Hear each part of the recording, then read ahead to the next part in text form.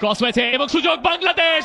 বাংলাদেশ লিডে সাফ নারী চ্যাম্পিয়নশিপের শিরোপা ছিনিয়ে এনেছে বাংলাদেশ। এগারো বাঘিনীর হাত ধরে এসেছে এই শিরোপা।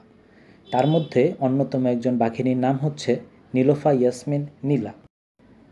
কুষ্টিয়া পৌরসভার বর্ধিত যুগিয়া সবজি ফার্ম পাড়ায় বাড়ি নীলুফার আধাপাকা টিনশেড ঘরে মা পাসিরন আক্তার আর ছোট বোন সুরভি আক্তারকে নিয়ে নীলুফাদের ছোট্ট সংসার। এই দুই মেয়েই বাসিরনের সম্বল। বাছিরনের বাল্যবিবাহ হয়েছিল। অল্প দিনেই রিক্সা চালক স্বামী তাকে ছেড়ে যান। নীলুফার বয়স তখন আড়াই বছর। তখন বিচ্ছেদ হয় মা বাবার।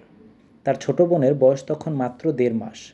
দুই মেয়েকে নিয়ে মা বাসিরন আক্তার কিন্তু দমে যাননি। তিনি কুষ্টিয়া শহরের থানাপাড়া এলাকায় কুটিরপাড়া চারে মায়ের বাড়িতে ওঠেন।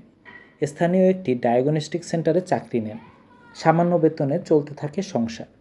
এমন পরিস্থিতিতে কঠোর সংগ্রামের মধ্যে দিয়ে দুই মেয়েকে বড় করছেন তিনি। তার বড় মেয়ে সাফ নারী ফুটবল চ্যাম্পিয়নশিপের শিরোপাজয়ী দলের সদস্য, লেফট ব্যাক নীলুফা ইয়াসমিন নীলা। নেপালের কাঠমান্ডুর দশরথ স্টেডিয়ামে ইতিহাস করেছে বাংলাদেশ দল। ফাইনালে স্বাগতিক নেপালকে তিন এক গোলে হারিয়েছে ইতিহাসের পাতায় নাম লিখিয়েছে বাংলাদেশের মেয়েরা।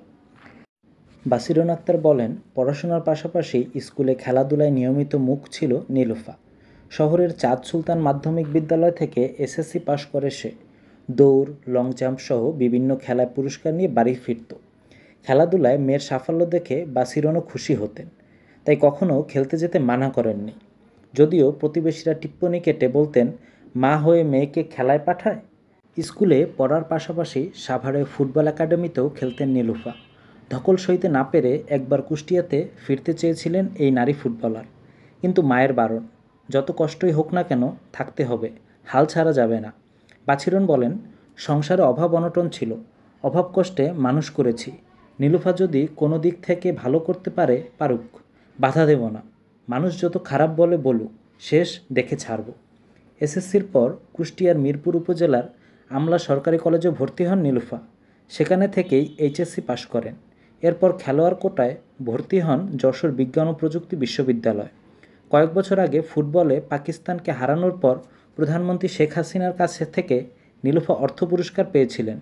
ওই টাকা দিয়ে তিনি জমি কিনেছেন। যে বাড়িতে বসে কথা হচ্ছিল, সেটা নীলুফার উপার্জনেই তৈরি।